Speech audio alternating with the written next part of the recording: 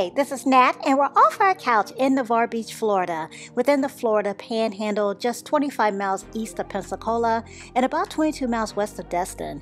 Uh, we've been in Pensacola for the past few videos. If you've been joining us for those adventures in Pensacola, thank you for getting out the couch with us. And if you're new to our channel, welcome and welcome all to Navarre Beach, our next stop and focus here in the Florida Panhandle. Uh, this is just our second visit to Navarre Beach, and Navarre Beach is known as Florida's most relaxing place. And we will do some relaxing, of course, um, but we have a lot more to do as well here in Navarre Beach and Navarre. So we're going to go beyond the beach too, and we're going to cover six fun, relaxing, educational, beautiful, and tasty things to do here. And as we explore these six spots along the way, we'll talk discounts as well, since our aim is always to save you money and time and to make your travels easier. And we still have more to check out in the Florida Panhandle. Uh, so be sure to subscribe. Keep getting off the couch with us, please. And on to stop number one uh, on our list of six. And stop number one is pretty obvious uh, the pier and the beach. Uh, let's go ahead and start relaxing, uh, even though we're just getting started. we really haven't even done anything yet. Uh, but that's okay because if you only have time to do one thing here in Navarre Beach, you have to spend time on this glorious beach and walk the pier too. It's like a two for one combo.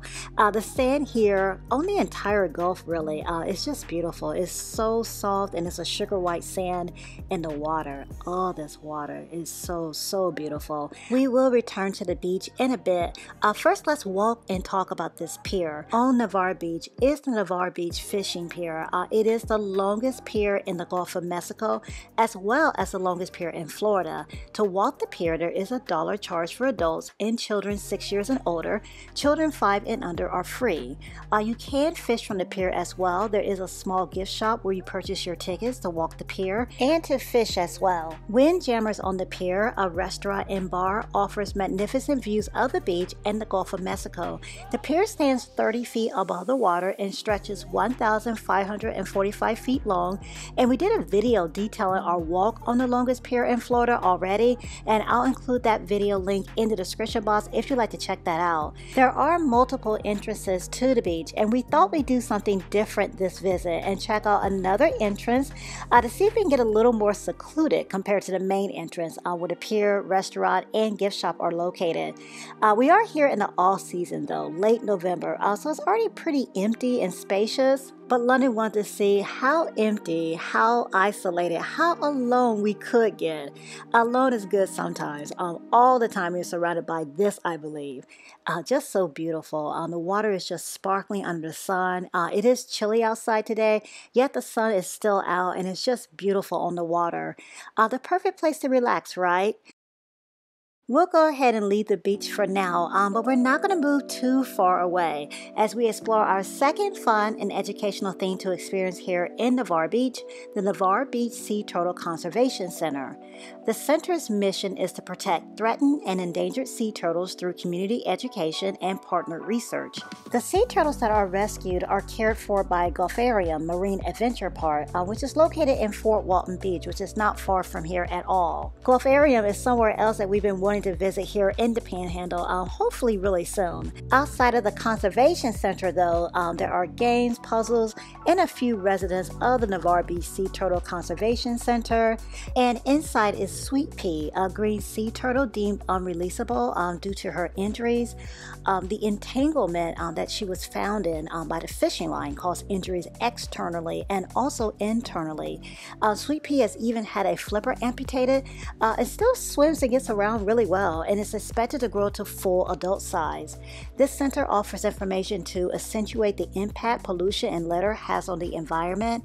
You can walk around the center rather quickly, uh, but there's so much information, lots of visuals, and beautiful fish to gaze at. The center really draws you in, and you'll most likely find yourself on um, taking your time and really processing every inch of the center. There is also a gift shop where you can purchase mementos of your trip, as well as make donations um, toward the rescue of sea turtles and the rehabilitation of sea turtles. Just recently, there were storms in Florida causing damage to some areas, including damaging some of the facilities and equipment of the Sea Turtle Conservation Center. So, donations are being accepted to help with the rebuilding process, and I will have the website link in the description box um, for information on how to donate, as well as information on their hours and admission discounts for senior military and first responders.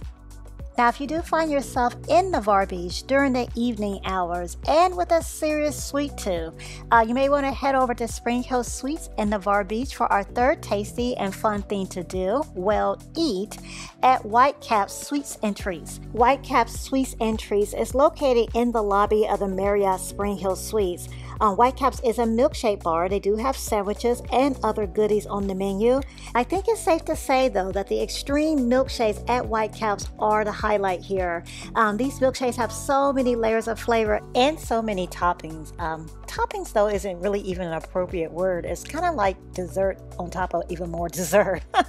it's definitely shareable. The challenge will be choosing one of their unique gargantuan ultimate milkshakes from the menu because the milkshake bar offers such a variety variety of flavors, it's difficult, at least for us, to settle on a choice to please the taste buds for all of us. Yet somehow we did figure it out. Our milkshake pretty much has it all salty, sweet, and rich. If you're visiting Whitecaps during the off season, unlike we are, it's late November, as I said earlier, I recommend calling ahead to check for operating hours. Hours do fluctuate during non peak time periods. We are still by the beach for our next stop, stop number four. And for our fourth fun and beautiful thing to do while in Navarre Beach, um, that would be to take the scenic drive from Navarre Beach, passing through the Gulf Islands National Seashore to Pensacola Beach. The Gulf Islands National Seashore is the longest section of federally protected seashore in the United States. What's unique about this shoreline is that it's located in Florida and Mississippi, two states that do not even border each other other. Uh, the Florida section of the Gulf Islands National Seashore includes Fort Pickens and Fort Barrancas in Pensacola, the Naval Live Oaks Trail, the Okaloosa area, and the Santa Rosa area. The stretch that we are on um, runs along the Santa Rosa area, and right now we are at Opal Beach. There are parts of this area that require an entrance fee and parts that do not, if I'm understanding correctly. If you do stop at one of the areas requiring an entrance fee, entrance fees are available per person and per vehicle vehicle, and they are good for seven days. There are also annual passes, and some of these annual passes are free. Uh, for example, military veterans and Gold Star families are eligible for lifetime annual passes that are free. Members of the U.S. military are eligible also for free annual passes, as well as fourth graders. And there are other free annual passes available, and I will include the link to the website in the description box for all of the details. If you're on this scenic drive um, and you can take the time to stop, I highly, highly recommend it. Uh, these beaches are just spacious and pristine.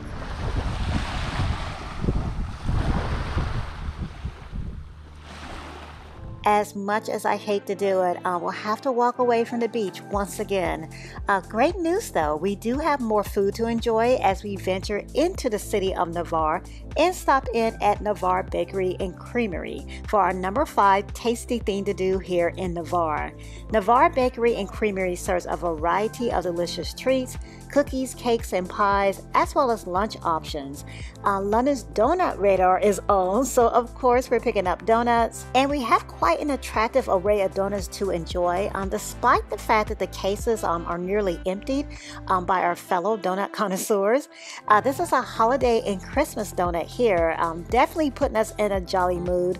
The little green and red candies, I don't recall their official name. Anyways, the little candies that are being used as a topping on a donut are not only cute, but it adds a wonderful crunch to this tasty fresh donut. We also have a German chocolate donut. The chocolate on this donut is so divine. Um, and a red velvet donut. We just love the taste of the bread with these donuts. Plus, they're so soft. And then the red velvet cake is crumbled on the donut. So the cake is a topping, um, a massive topping on this donut. This is my first time seeing a red velvet donut like this. It is so good and fulfilling. I love it. And we still have an apple fritter plus pastries. Uh, this is new for us. Normally on our adventures, um, we're just picking up donuts, but since this is a bakery, um, we have to try even more. So now we have more than enough goodies to carry us on to our next stop, uh, our final stop, stop number six for a fun and educational thing to do here in Navarre, and that is to visit the Emerald Coast Wildlife Refuge. The Emerald Coast Wildlife Refuge is a nonprofit organization that rehabilitates sick, injured, and orphaned wildlife that are native to Florida. The refuge's aim is to release the animals that come under their care back into the wild. However, there are some cases where the animals are not suitable um, for being released, and they stay here at the 2.3 acre refuge to serve as ambassadors and help educate the public about biodiversity and native Florida wildlife.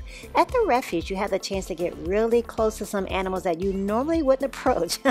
Therefore, learn a lot more about these creatures and their roles in nature. So, not only do we we have the opportunity to pet an opossum, we also have a chance to pet a gopher tortoise landlord uh, who was deemed unsuited for release after unfortunately being hit by a car. Gopher tortoises are keystone species, uh, meaning that many animals rely on them for survival. In this case, over 360 species rely on burrows that gopher tortoises build for shelters. Our tour actually starts within the building where we learn about sea turtles and how important red light is for their nesting as well well as their survival. We learn about some of the animals they have successfully rehabilitated and released back into the wild, um, like a turtle with an ear infection um, that caused it to look like um, they actually had two heads.